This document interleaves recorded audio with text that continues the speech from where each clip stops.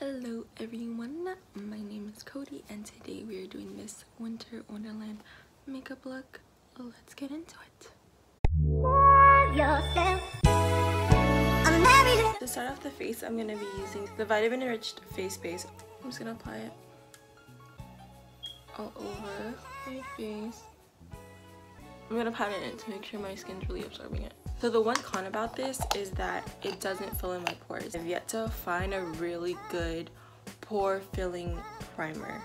I am using natural light and I'm in front of like a really big window so I'm using natural light um, because natural light is the best light. So I'm going to be taking the Fenty Beauty Pro Matte Filter Foundation. This is to shake it well before applying. I'm in the shade 300. I'm to take one pump first. I'm just gonna apply that all over my skin.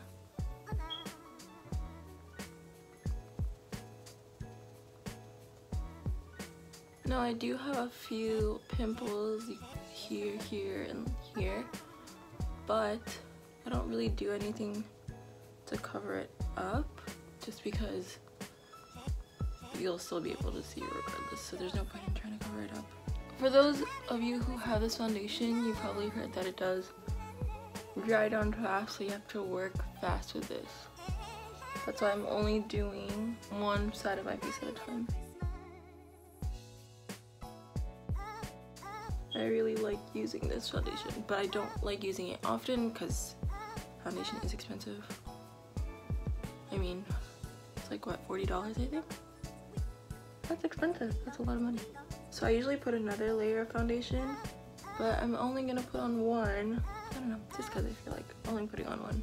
For concealer, I'm to be taking the Tarte Shape Tape in shade light medium. This is the only concealer that I use. I haven't tried another concealer in like, I don't even know when I got this. I got this last year. Actually got this last January. Not last January.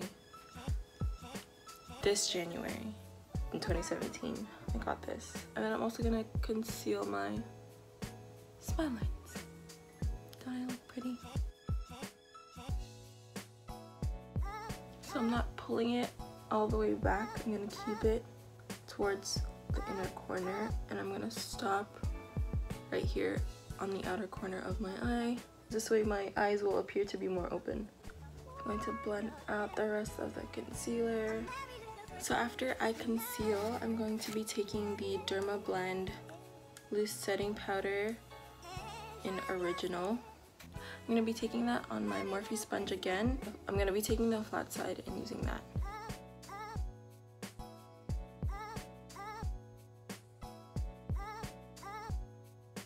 I actually like this sponge better than Beauty Blender just because of these two flat sides right here. It makes it easier to bake. I'm also to bake my nose because this is where I get really oily.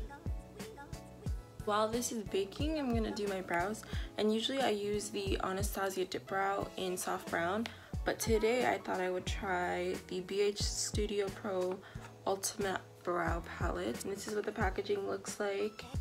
This is what the inside looks like. So the bottom four are all pomades and then these eight are all powders. So I'm going to be dipping into this shade right here on Anastasia the writing came off of this. I think this is the number seven brush. I've only used this brow product once to do my Halloween makeup, but I did the black shade. But this brow palette is actually really inexpensive. And if you're a beginner and you're trying to find your brow shade, then this is actually really good because then you can just test out all these shades. So this color came out to be a lot more pigmented than I originally thought. I thought I was really gonna have to finesse the product in, but it applied really well. I'm just gonna do the other brow off camera and I'll be back. Just fuck. Yes, the number one animated comedy. So I finished doing my brows off camera and now I'm going to be priming my eyelids. And to do that, I'm going to be using the Pro Longwear Paint Pot in Soft Ochre by MAC Cosmetics. I'm gonna carve out the bottom part of my eyebrow using a Morphe M410. I'm just gonna put some on the brush. I'm gonna begin carving it out.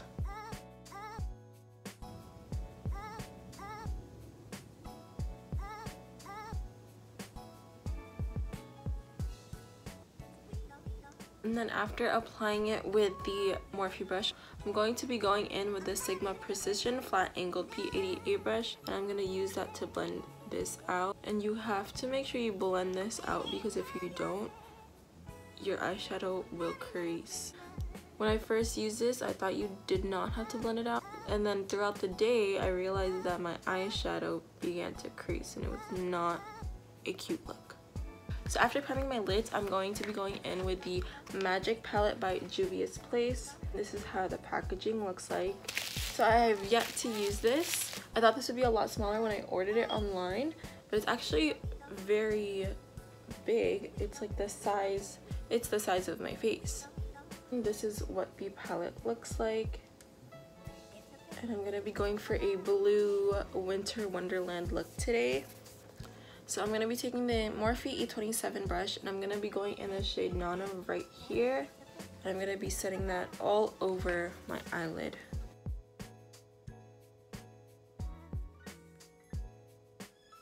So when I do my eyeshadow, I like to bring it all the way up to the brows just so that my eyes can appear a little bit bigger than they really are. I'm using Nana because it is a warm brown and the blue I'm going to be applying on later is very cool toned. So this is just to balance it out. I realized that my brush does have tape on it because it's starting to break and I was not going to buy another one because money does not grow on trees. I'm going to go in with my Morphe G24 brush and I'm going to be taking Zakia right here. I'm going to use this to go over Nana. I'm gonna apply that all over my crease. I bring the eyeshadow above my natural crease to make my eyes look bigger. Next on a Morphe MG13 brush, I'm gonna be taking this shade right here. But it's spelled Y-E-J-I-D-E. -E. I'm gonna use this color to go into my outer and my inner corner.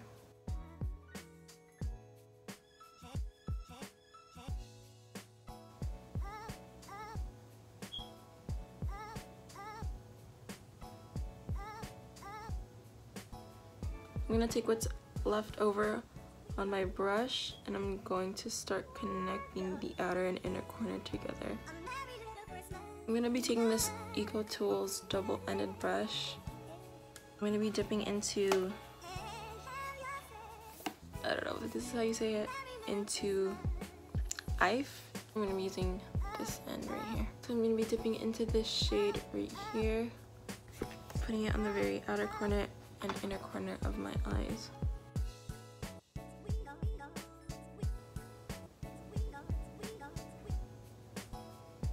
And using the other side of the brush, I'm going to blend that in.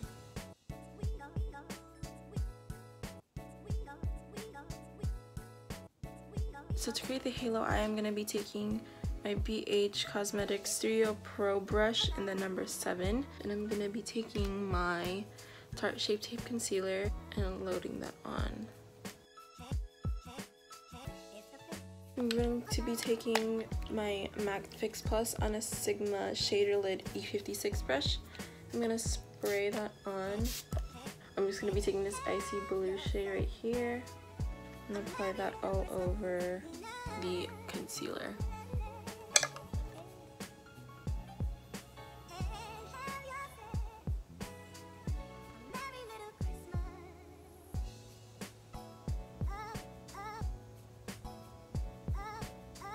I'm going to be going back into that same blending E36 brush and blend out this shimmer shade.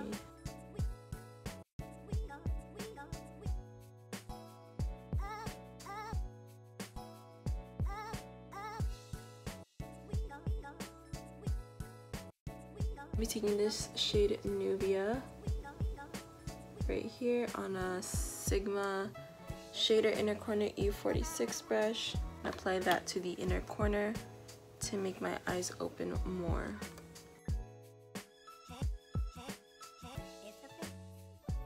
It's a very yellow gold shade. And I'm also gonna use that to highlight my brow bone. Then I'm just gonna be doing what I did on this eye and doing the same thing on the other eye off camera and I'll be back. So I did the other eye and I popped on some lashes. The Dodo lashes in D313. And this is how it turned out. I think it turned out pretty good. I'm gonna wipe off the bakage with the foundation blurring brush. Oh my god, my chin wiped off already. Hmm. I'm just gonna wipe this off.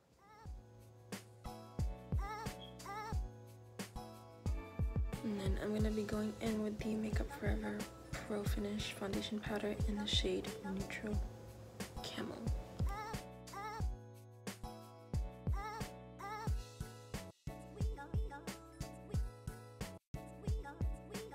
I'm gonna be taking NYX eyeliner in white and run that all over my waterline. And I'm gonna take the Better Than Sex mascara and apply that all over my lower lashes. To bronze my face, I'm gonna be using the Hoola Bronzer by Benefit on a Morphe M527 brush.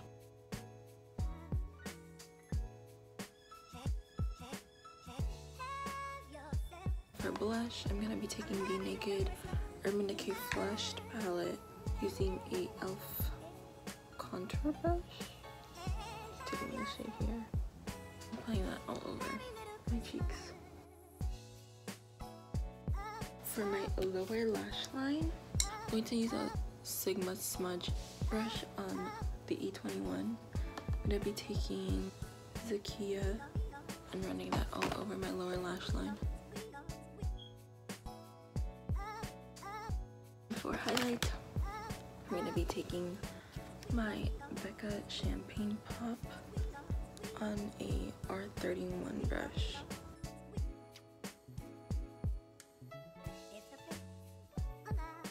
For lip liner, I'm using the NYX lip liner in Nude.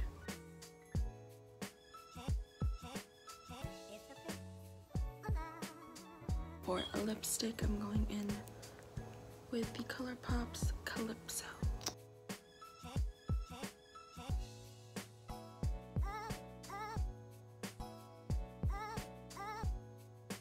And the last set is setting spray and I'm going to be using the Morphe Continuous Setting Mist.